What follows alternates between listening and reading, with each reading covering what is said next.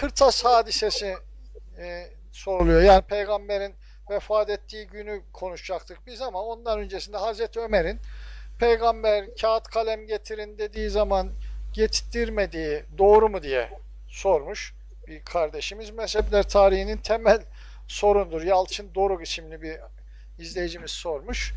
Evet. İsterseniz buna da cevap verirsiniz. verirsiniz Kırtas hadisesi Şia'nın çok tutunduğu hadiselerden Yani, evet. İşte Kadir Hum, işte e, Tebuk seferine çıkış, bir de Kırtas olayı çok e, tutulan bir şey. Hatta şunu söylerler ehl-i sünnete, kardeşim sizin kitaplarınız bile bu geçiyor, hadis kitaplarında bile bu geçiyor Evet. e, filan diyerek hastanenin halifeliği için delil almak isterler. Kitaplarda geçen rivayet şu şekilde, önce onu aktaralım. Diyor ki işte Peygamberimiz vefat etmeden önce bir ayıldığı sırada bana bir kağıt kalem getirin. Ben size e, onlara uyduğunuz halde e, zaman sapıtmayacağınız bir şeyler söyleyeyim diyor. İşte e, o sırada bayıl, ayılıyor, bayılıyor tekrar. Kendinden geçiyor. Böyle yarı duyar gibi oluyor genelde. Ama konuşamıyor. İşte orada tartışmalar oluyor. Rivayet diyor ki Ehl-i Beyt'ten bazıları yani Ehl-i Beyt ifadesi geçiyor. Aynen böyle. Getirmeye gerek yok dediler. Hazreti Ömer de dedi ki ya peygamber zaten Hazreti Ömer de oradaydı. Peygamber zaten diyeceğini demiştir. Din tamamlanmıştır. Yeni bir şey yoktur. İşte ancak tekrar söyleyecektir. Mesela peygamber hani mesela anne babaya iyilik edini çok söylemiştir mesela gibi tekrar söyleyecektir. Rahatsız etmeyelim diyerek e, şey yapıyor. E, kağıdı kalem getirmeyin diyor.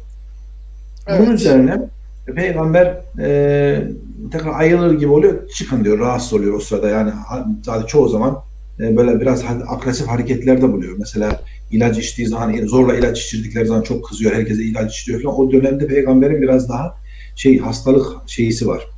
Durumu var. Olay bundan ibaret ama Şia diyor ki zalim Ömer Ali'nin atanmasına engel oldu. Evet. İşte peygamber Ali yazacaktı. Nereden biliyorsun kardeş Mezcan? E öyleydi yazacaktı. Niye E? Ömer engel Evet. diyorlar. Evet. Şimdi e, normalde e, tabii buna e, karşı ehl sünnet de şöyle e, böyle tipik e, hani ne diyelim biraz e, garip tepkiler veriyor. Mesela İbn Teymiye'nin tepkisi var. Diyor ki yok kardeşim elbette bu hadis doğrudur ama hani hadis de reddetmiyor e, yani selefi bir mantıkla. Hadis. Doğru ama o Ali yazmayacaktı, Ebu Bekir yazacaktı. Hatta şu rivayetler aktarılmış. Bir tipik bir ehl sünnet tepkisiyle. Bana kağıt kalem getirin. Size Ebu Bekir'i yazayım diyecektim ama vazgeçtim. Siz, siz zaten Ebu Bekir'i seçersiniz diye bir hadis aktarıyor. Kaynaklarda geçiyor. Bu da ehl sünnet uydurmasıdır yani. Evet. Yani e, o Şia'nın bu saldırganlığına karşılık ehl sünnetin böyle yaptığı bir tepkidir.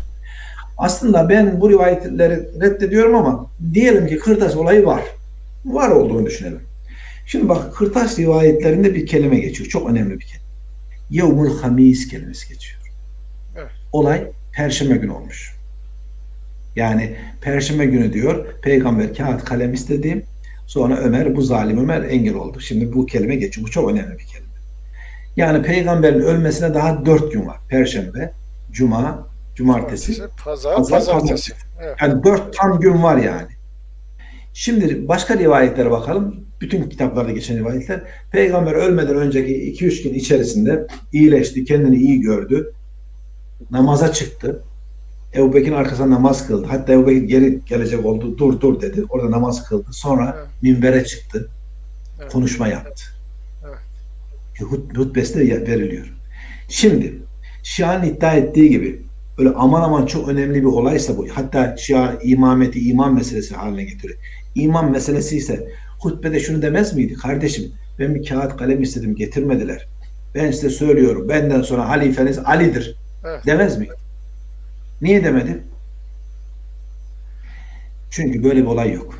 Bu tamamen bir uydurmadır Kırtas hadisesi. Ben bu Kırtas hadisesi olduğunu düşünmüyorum. Olsa bile bu Yevmul Hamis meselesi, Perşembe meselesi bunun ne kadar şey olduğunu, aslında olmadığını söyleyen, bir, gösteren bir delildir. Evet. Onun için buradan bir şey çıkmaz yani. Hazreti Ali'nin halifeliği falan çıkmaz. Benzer şeyi Gadir-i Hum için de söyleyebilir miyiz? Yani Şia'nın en önemli iddialarından biri de o. Mekke'nin fethi dönüşü Gadir-i Hum'da. Hatta Maide suresi 67. ayetin iniş sebebi Ya eyyüher Resul belliğ ma unzile ileyke sana indirileni tebliğ et. Yani Allah Ali'nin kendisinden sonra halife olduğunu peygambere söylemişti ama o bu acele diye bildirmek istememişti. Ama bu ayet indi ve Gadiruhum'da e, ene Medine tüm babu Ali diye hatta burada Malatya Elazığ e, isimli bir e, izleyicimiz buna benzer bir şey de sormuş. Onu da ekleyeyim buna.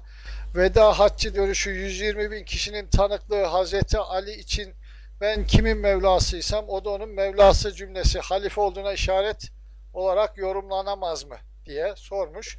Bu ikisini birlikte cevaplarsanız hocam.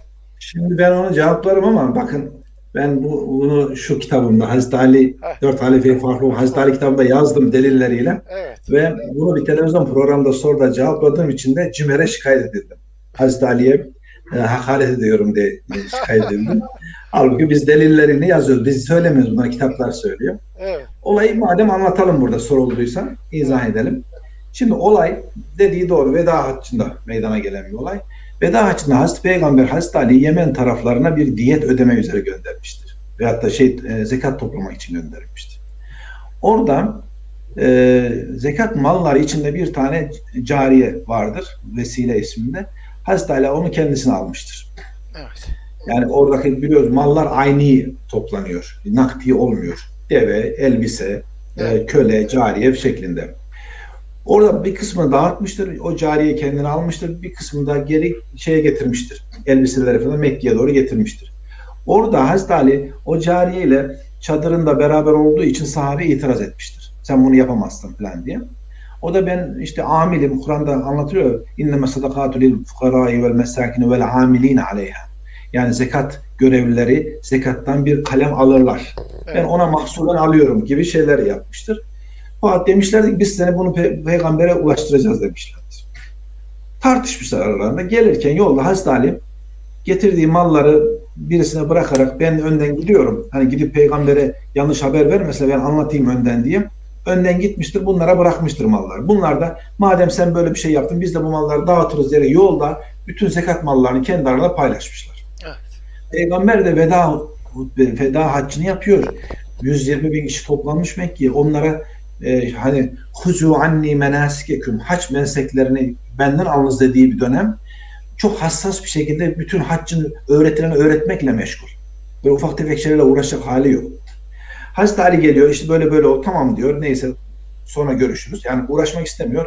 Onlar geliyor ya Resulullah işte Ali böyle yaptı şöyle yaptı derken Hazreti Ali soruyor malları neye getirmediniz? Diyorlar ki sen vesileyi böyle kendin alın biz de malları dağıtın. Nasıl dağıtırsın dağıtmasın diye. Sen bunu yaptın biz de birbirine giriyorlar. Peygamber tamam bir dağılın diyor. Şimdi bu bütün hüccacın gözü önünde bunlar tartışmayı istemiyor. Evet. Fakat bu tartışma bitmiyor. Peygamberi kapatmak istese de bitmiyor. Şimdi burada yanılanlar şu. Haç bitiyor, Medine'ye geri dönüyor. Artık 120 bin kişi falan yok. Evet. Bunlar abartılı şeyler.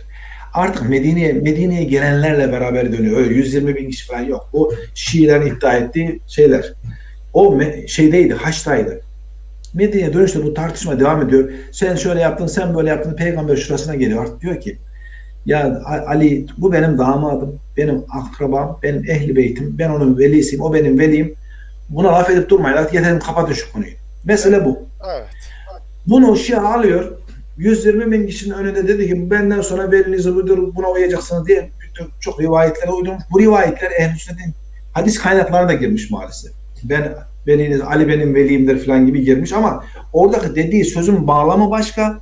Burada veli kelimesinden halifelik çıkartılmak başka. Hiç alakası yok. Peygamber Hazreti Ali halife falan bırakmamış. Mesele budur yani.